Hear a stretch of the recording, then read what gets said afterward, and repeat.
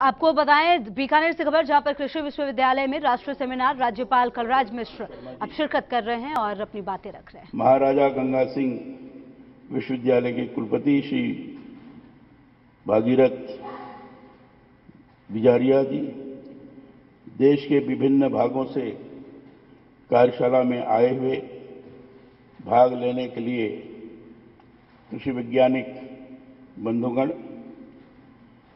विश्वविद्यालय के प्राध्यापकगण, यहाँ उपस्थित अन्य सम्मानित महानुभाव बहनों, हमारे पत्रकार मित्र, छायाकार बंधुओं, आज इस विषय पर जो गोष्ठी आयोजित की गई है, कई दिनों तक ये गोष्ठी चलेगी। जब मुझे यहाँ के कुलपति ने बताया कि इसमें आपका आना आवश्यक है तो स्वाभाविक रूप से कृषि के प्रति रुचि होने के कारण और कृषि वैज्ञानिकों के द्वारा जो नए शोध कार्य किए जा रहे हैं उसके प्रत्यक्ष रूप से जानकारी प्राप्त करने की आकांक्षा के कारण मैंने सहज रूप से स्वीकार कर लिया और मैंने कहा, मैं इस कार्यक्रम में आऊँगा। और सचमुच यहाँ आने के बाद जैसा मुझे बताया गया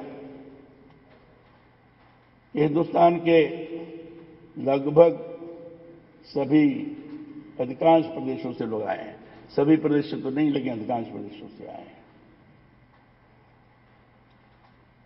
और अपने जो भी शोध कार्य हुए हैं, किसी के संबंध में, उसके बारे में समीक्षा भी करेंगे।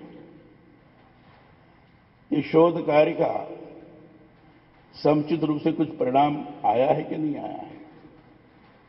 इसके बारे में समीक्षा। उसका लाभ प्राप्त हुआ है कि नहीं प्राप्त हुआ है किसानों को? उसके बारे में भी समीक्षा। और कृषि के द्वारा किसानों की आमदनी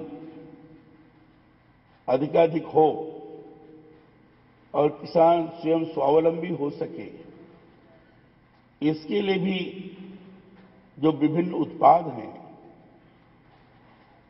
उसका विभिन्न तरीके से